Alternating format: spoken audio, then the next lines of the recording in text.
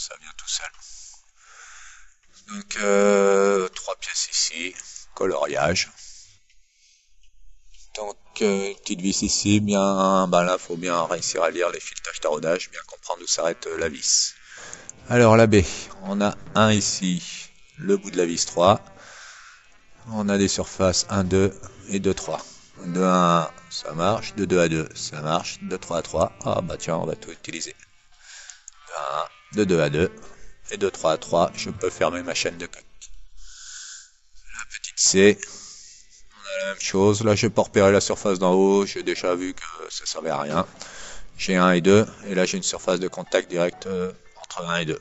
Donc de 1 à 1 et de 2 à 2, ma chaîne de cote est fermée.